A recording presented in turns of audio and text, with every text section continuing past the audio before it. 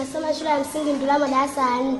Mimi naona elimu na fedha bora fedha. Fedha maana unakula. Hiyo elimu utanunulia chakula. Hiyo elimu utajengea shule. Hawa walimu wanadai fedha, sio wanadai elimu. Wanakufundisha wewe ili upate elimu na wewe utatafuta fedha. Asante ndugu mheshimiwa mwenyekiti kwa kunipa nafasi.